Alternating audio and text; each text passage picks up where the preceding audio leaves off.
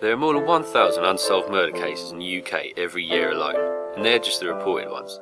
There isn't even an estimate as to how many there have been worldwide, and I'm a man who likes to live by statistics.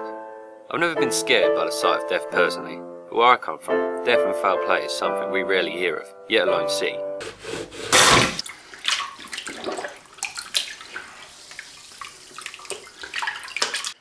We've never had loonies running about harming innocent folk. The police department here does fuck all. Not because they're lazy, but because there really is fuck all to do.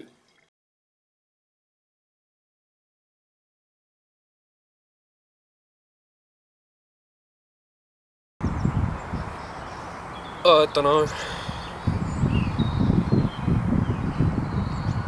Don't touch it, you fucking moron. You get your greasy fingerprints all over it. I can't see you, you? I thought you said we weren't taking it to the police. My friend Mace is a kind-hearted kid, but underneath it, he's thick as shit. I don't really know why he isn't that academically bright. Apparently he had an accident on his dad's farm when he was a kid. But long story short, he's the village idiot. I can't see you, do you?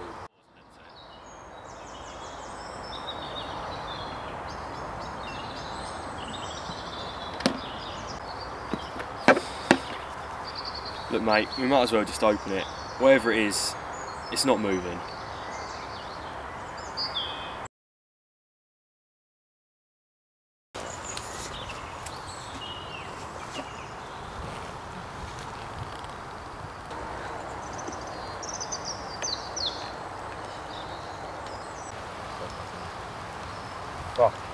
If you don't report it, does that mean you're guilty?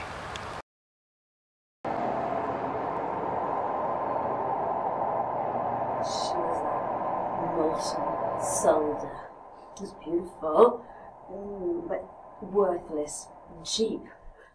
And what about him? Dead.